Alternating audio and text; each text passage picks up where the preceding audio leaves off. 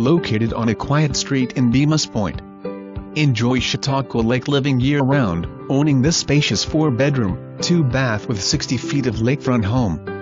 This home also features an open and airy dining area living room with wraparound deck and beautiful views of Chautauqua Lake, central air conditioning and two bedrooms and a bath conveniently located on the main floor. Upstairs are two more bedrooms and bath.